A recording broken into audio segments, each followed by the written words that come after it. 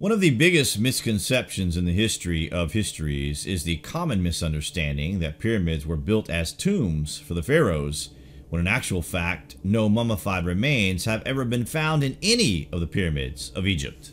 The idea probably spawned from the fact that the Giza pyramids are situated in what is now a large funerary complex that was added during the dynastic period of Egypt and the discovery of an inscription in the Great Pyramid by Richard Vyse appeared to confirm this, though in the 21st century carbon dates on the inscription have yielded results that suggest it was from the 19th century and possibly added by Vyse or his team.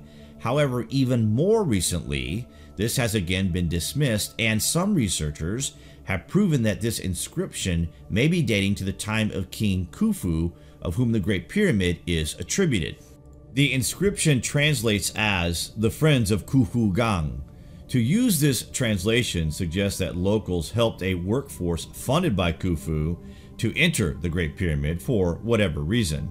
And some researchers have shown later additions to the Great Pyramid, and in particular the Queen's Chamber.